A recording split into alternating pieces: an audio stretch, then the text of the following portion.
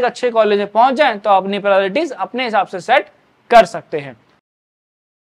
Title और thumbnail तुमने देख लिया होगा। आज की इस वीडियो में बहुत ही रियलिटी की बात करेंगे। शॉकिंग फैक्ट्स फैक्ट्स की हम बात कर रहे होंगे।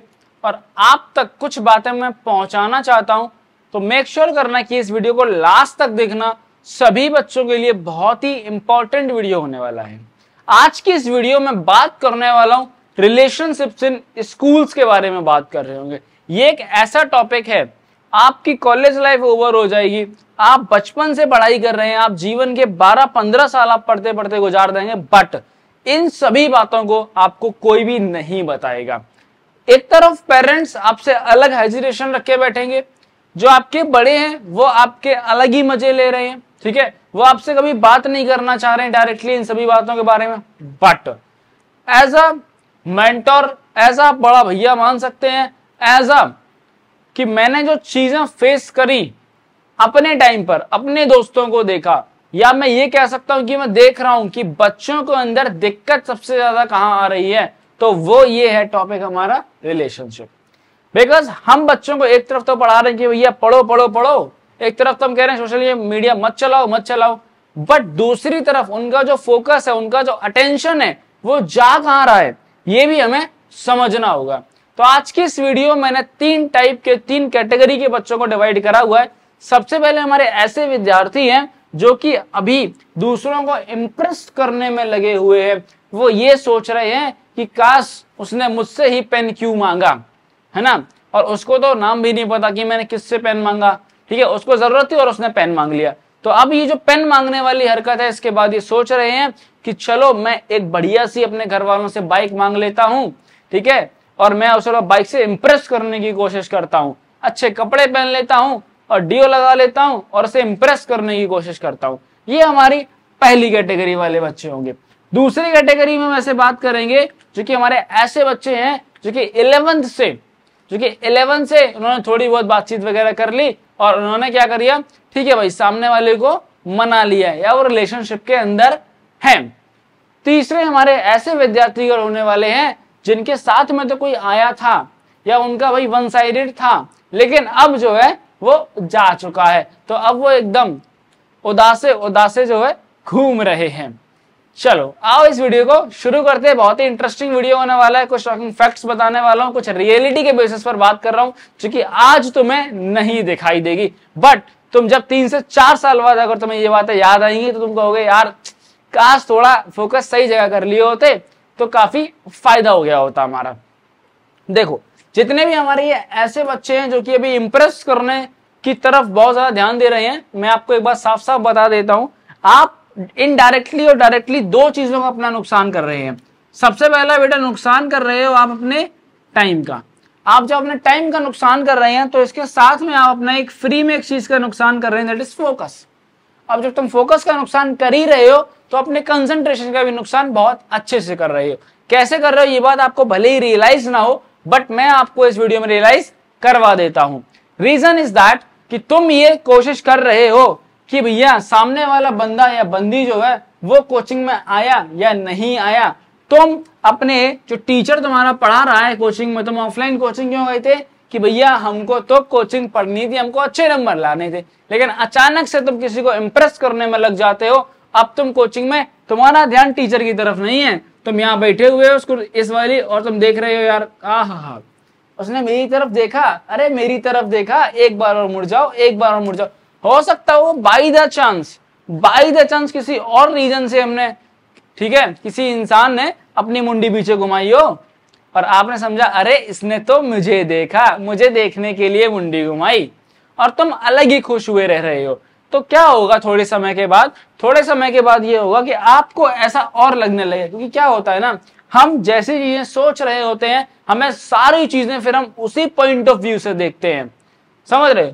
क्योंकि तुमने लगा लिया चश्मा। कौन सा वाला? अब तुम्हें सारी, कोई भी हरकत सामने वाला करेगा तो तुम्हें लगेगा वो इस इस वजह से की गई है। ठीक है? अब अल्टीमेट में बेटा क्या होगा? अल्टीमेट में अगर तुमने इलेवंथ में ऐसी हरकतें करी होगी तो आपको पता ही तुम्हारा इलेवंथ का जो बेस है वो खराब हो चुका है।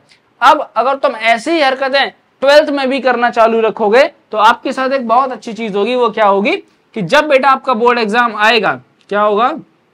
जब तुम्हारा बोर्ड एग्ज़ाम आएगा तो तुम्हारे नंबर तो बहुत कम आ रहे होंगे। क्योंकि इस बार जो बोर्ड एग्ज़ाम हमारा होने वाला है, उसका फॉर्मेट चेंज हो गया है तो अब पेपर की जो डिफिकल्टी, वो थोड़ी सी नहीं, एक बहुत ड्रास्टिक चेंज आपको देखने को मिल रहा होगा। दूसरी चीज़, सामने वाला जो भी बंदा या बंदी है, वो तो आराम से अपना पढ़ाई करके और अच्छे नंबर स्कोर कर लेगा। क्योंकि उसको तो इन सब चीज़ों की भनक भी नहीं होती है। एक बहुत इंटरेस्टिंग फैक्ट मैं आपको बताता हूँ कि होता क्या है ना आजकल कि भाई दो चार लड़के एक एक लड़की के पीछे लड़े जा रहे हैं आपस में लड़े जा रहे हैं ठीक है भाई वो भाभी है वो वो, वो भाभी है तेरी भाई है ना? और उसको तो इनके नाम भी नहीं पता है ठीक है? तो अगर आप इस वाली कैटेगरी में आ रहे हैं तो आप बेटा बहुत ज़्यादा गलत कैटेगरी में है। इस कैटेगरी में क्या है? आपका कोई कंफर्मेशन नहीं है और दूसरी चीज़, सामने वाला तुम्हें जानता भी नहीं है, ठीक है? यानी कि यहाँ पर कंफर्मेशन की जो उम्मीद है तुम्हारी, बिल्कुल पॉइंट में zero zero zero one percent कहीं है। तो इसको अभी ज़्यादा ध्यान ना दिया जाए। हम अभी ध्यान किस पर देंगे? हम हम ये मानते हैं कि भैया अभी थोड़ा सा ये मुँह माया है, और यहाँ से अभी हम उठ गए तो हम बहुत ही अच्छी जगह लैंड कर रहे होंगे। रीजन इज़ बींग दैट देखो यार टू बी ऑनेस्ट आपकी बॉडी में हार्मोनल चेंजेस होते हैं, ये सारी चीज़ें होना बहुत ही कॉमन सी बात है। बट अब ये डिपेंड करता है कि हम अपनी एनर्जी किस चीज़ पर फोकस कर रहे हैं। आप जिस चीज़ पर फोकस करोगे, वही चीज़ आपको फिर दिख रही होगी। तो देखो, बहुत सारे ऐसे बच्चे होते हैं जो बहुत इंटेलिजेंट होते हैं टेंथ तक बहुत अच्छे रहे हैं बट इलेवेंथ में ट्वेल्थ में उनके जो नंबर हैं ड्रास्टिक गिर जाते हैं। रीजन सामने हैं। अब करना क्या है तुम्हें? देखो, तुम्हें धीमे धीमे जो है, अपनी सराउंडिंग को चेंज करनी है। अगर तुम इस कंडीशन में फॉल कर रहे हो और अगर तुम सुधरना चाहते हो सबसे पहला कंसेप्ट क्या है कि आपको जो है इन्वायरमेंट अपना चेंज करना है। ठीक है? अब तुमने क्या किया होगा? तुमने अपने दोस्तों को बता दिया होगा, भाई, भाभी है तेरी है ना?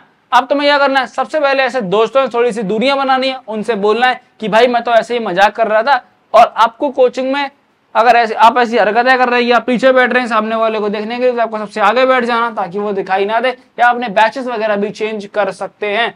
बिकॉज़ ये चीज़ बेटा आपको अभी तो बहुत अच्छी लग रही है, अभी तो बहुत सारी चीज़ एकदम मस्त मस्त दिख रही है। पर जब तुम्हारा रिज़ल्ट आएगा ना क्लास ट्वेल्थ का, तब तुम्हें समझ में आएगा।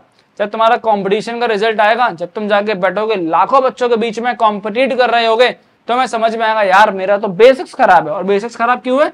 क्योंकि हम इंप्रेस करने में लगे हुए थे। ओके दूसरी ऐसे विद्यार्थी हमारे। चलो, कुछ हमारे ऐसे विद्यार्थी भी होंगे, जो एकदम मस्त रिलेशनशिप पे चल रहे होंगे। तो उनको मैं साफ़ साफ़ एक बहुत अच्छी सी बात बता देता हूँ। देखो यार, अभी दिक्कत क्या है ना कि अभी तुम्हारा और सामने वाले इंसान का, ठीक है तो बहुत ही रेयर रिलेशनशिप्स होते हैं जो कि आपके एंड तक एग्जिस्ट एंड तक एग्जिस्ट कर रहे होते हैं। रीजन इज़ बीइंग दैट कि जो क्लास इलेवेंथ है और क्लास ट्वेल्थ है, उसमें क्या होता है कि हमारा डोमेन बहुत कम होता है। क्या होता है?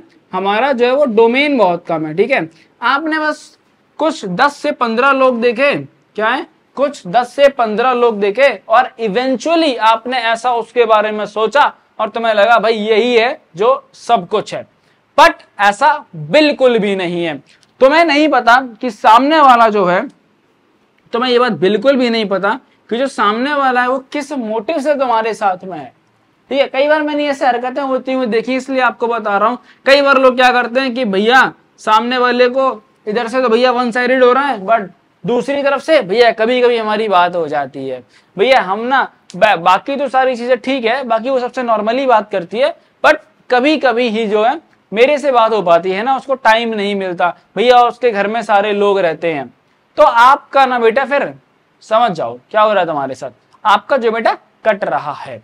ये बातें आपको थोड़ी सी समझनी है बिकॉज़ क्या होता है ना इलेवेंथ और ट्वेल्थ के टाइम पर हम बहुत ज़्यादा इमोशनल हो रहे होते हैं। Reason is being that girls के साथ बहुत ज़्यादा ऐसा देखने को मिलता है। यूजुअली क्या होता है? देखो ह्यूमंस की नीड है कि भाई हमारी कोई भी अगर तारीफ़ कर देता है तो हम थोड़ा सा उसकी तरह, उसके लिए एक सॉफ्ट कॉर्नर बन जाता है। अच्छा अरे ये इंसान तो मुझे बहुत अच्छा बता रहा है। अब इसका रीजन क्या है? रीजन ये कि घर वाले हमारी तारीफ़ कर नहीं रहे, स्कूल में हमारी तारीफ़ हो नहीं रही, खुद की तारीफ़ हम कर नहीं रहे सेल्फ एप्रिसिएशन हमें सिखाया नहीं गया। तो ह्यूमंस को चाहिए होता है एप्रिसिएशन ठीक है? अगर मैं तुम्हारी ये चार बातें तुम्हारी तारीफ़ में कह दूँ तो तुम्हें लगेगा, अरे, ये भैया तो बहुत अच्छे हैं। और मैंने पांचवी बात कह दी, बेटा, ये बात तुम गलत कर रहे हो। तुम्हें करे अरे भैया यार, कैसी बात कर रहे हो आप? तो जस्ट शेयर सारी चीज़ें बेटा, ऐसे ही आपके साथ में हो रही होती है। तो यहाँ पर अगर आप ऐसी चीज़ों में इन्वॉल्व हैं तो अभी मैं आपसे कहूँगा कि आप बहुत ज़्यादा टाइम ना दें तो आपके लिए फ़ायदा होगा आगे, ठीक है? आपको बस दो चीज़ बचानी है, अपना टाइम बचाना है और जब आप पढ़ाई कर रहे हैं तो आपको अपना यहाँ पर अपना जो फोकस है, वो सेव कर लेना है। ठीक है? बाकी अगर थोड़ा बहुत टाइम जा रहा है, दिन का 10 से 20 मिनट आपकी ज़िंदगी से जा रहे हैं तो वैसे ही बर्बाद हैं, वो आपको पता चलेगा एक टाइम के बाद। बट आपको बहुत ज़्यादा इमोशनली कनेक्शन नहीं बनाना है। बात समझो अभी। ठीक। अब तीसरे जो हमारे ऐसे विद्यार्थी हैं, मुझे पता है इनकी संख्या सबसे ज़्यादा होगी। अब क्यों होगी? बिकॉज़ कईयों की तो इमेजिनरी गर्लफ्रेंड्स बन जाती हैं। अब ये इमेजिनरी गर्लफ्रेंड का भैया कंसेप्ट क्या है? तो कंसेप्ट ये है कि भैया वो कोई भी रैंडम लड़की इन्होंने देख ली, अब इन्हें उससे प्यार हो गया। और फिर इन्होंने उसके बारे में पता किया कौन से क्लास की है, कौन से सेक्शन की है, कौन से स्कूल की है, कौन सी कोचिंग जाती है। और सब में एकदम अनाउंस कर दिया, भाई ये हमारी, ये तो तुम सबकी भाभी है। और तुम उसे जानते भी नहीं हो। कुछ इसमें हमारे ऐसे केस होंगे जो कि भैया इलेवेंथ में तो चल रहा था, भैया हम शादी वादी करेंगे, हम एकदम बहुत लंबा रिलेशनशिप चलेंगे ठीक है, जीने मरने की कसमें हमने खा ली थी और उसने जैसे एक दूसरा बंदा देख लिया, ठीक है, तुमसे थोड़ा सा और एक स्मार्टर बंदा देख लिया और वो तुम्हें छोड़ के चली गई, ठीक है, या हो सकता है कि तुम्हें चीट किया गया हो तुम्हारे साथ। तुम एक एकदम मस्त कैसे तुम एक बहुत ऑनेस्ट लॉयल आदमी हो और सामने वाला दो से चार लोगों से बात कर रहा है, ऐसा भी हो सकता है। दोनों ही केस में हो सकता है, मैं किसी पर्टिकुलर जेंडर की बात नहीं कर रहा हूँ। अब इस केस में बच्चों को क्या लगता है? इस केस में बच्चे बहुत ज़्यादा दुखी रहते हैं, बच्चों को लगता है, भैया, हमारी दुनिया खत्म हो गई है, हर जगह सेट स्टेटस आपको देखने को मिल रहे होंगे इनके। तो अब इसका सॉल्यूशन क्या है? इसका सॉल्यूशन ये है, सबसे पहले अगर आप पर रिलेशनशिप का ब्रेकअप हुआ है और आप उससे उभरना चाहते हैं तो मेरी बेस्ट टिप आपके लिए इतनी से रहेगी, आपको सोशल मीडिया डिलीट कर देना है। अब भैया, ये सोशल मीडिया का और मेरे रिलेशनशिप से रिकवर होने का क्या लॉजिक है? तो मैं आपको बताता हूँ लॉजिक क्या है। थोड़ा ध्यान से समझना है। यूजुअली क्या होता है, जो जो हमारे सोशल मीडिया के एल्गोरिदम जो बनाए गए हैं, खासतौर से इंस्टाग्राम का जो एल्गोरिदम है, वो इस तरीके से बनाए जाते हैं कि आप जिस शॉर्ट को या फिर मैं आपसे कहूँ कि आप जिस रील को ज़्यादा टाइम तक देखते हैं तो उस, उसको दिख जाता है कि आपने भैया इस वाली वीडियो का जो हमारा, आपका एवरेज व्यू ड्यूरेशन है, क्या है? एवरेज व्यू ड्यूरेशन जो है, वो बहुत ज़्यादा है। यानी कि आप आप ऐसी चीज़ें देखना चाहते हैं तो फिर आपके पास दिन भर sad sad sad sad reels आएँगी। और ये जो आपको रील्स देखने को मिलेंगी, ये ऐसी रील्स होंगे बेटा जो आपकी कंडीशन को, आपके इमोशंस को और स्ट्रॉन्ग इमोशन बना देंगी। यानी कि वो आपसे रील इस तरीके से होंगी कि आपको ये ये फील किया जाएगा कि आप अपनी जगह बिल्कुल सही हैं। सामने वाले ने आपके साथ गलत किया, आपके साथ बहुत कुछ गलत हुआ है, ठीक है? आपकी ज़िंदगी से कुछ बहुत इंपॉर्टेंट चीज़ चली गई है। बट लेटर आप रियलाइज़ करोगे कि जो इंसान गया वो आपके लिए अच्छा ही था, ठीक है? तो आपको करना क्या है? सबसे पहले काम सोशल मीडिया से डिलीट कर देना है। फिर दूसरी चीज़ मैंने देखा है, भैया, हम जो है ना अपने ब्रेकअप से अपने रिलेशनशिप से रिकवर तो करना चाहते हैं बट साथ में हम फ़ोटोज़ डिलीट नहीं करना चाहते। कुछ हमने दो चार स्क्रीनशॉट ले रखे हैं कुछ हमने चैट्स रखी हैं उनको हम रखना चाहते हैं। क्यों रखना चाहते हो? इसे हम कहते हैं कि हम खुद से हम स्लो पॉइजन अपने आप को दे रहे हैं। तो सबसे पहले उसके बाद क्या करना है? आपको ये जो स्लो पॉइजन तुमने रख, रख, रख, रखा हुआ है आपको इस स्लो पॉइजन को डिलीट कर देना है। तीसरी चीज़ आप जब ज़्यादा सोच रहे हैं तो आपको सिर्फ़ इस टाइम पर अपने आप को थोड़ा सा बिज़ी रखना है और आप इवेंचुअली जो है चीज़ों से ओवरकम कर जाओगे। क्लासेस को रेगुलरली अटेंड करो, ठीक है? अपने स्कूल जाओ। ओके कोचिंग्स नहीं है, कोई दिक्कत नहीं है स्कूल जाओ डेली टीचर से बात करो थोड़ा। थोड़ा क्लास में इंगेजमेंट दिखाओ, किताबों को पढ़ो बोर्ड एग्ज़ाम पर फोकस करो, ठीक है? नई चीज़ समझ में आ रही है यूट्यूब से पढ़ लो, ठीक है? और अगर थोड़ा सा पढ़ना है, किताबों को पढ़ो क्वेश्चन सॉल्व करो इस तरीके से हमारे लिए थोड़ा सा बेटर रहेंगी चीज़ें। तो उम्मीद करता हूँ कि आज की इस वीडियो से आपको बहुत कुछ सीखने को मिला होगा और ट्रस्ट मी ये सारी चीज़ें आपकी एज में होती हैं, चीज़ें नॉर्मल है बट इन सब पे हमें बात करनी चाहिए। आप लोगों को बताना पड़ेगा कि आपके लिए अभी क्या चीज़ें बेटर है।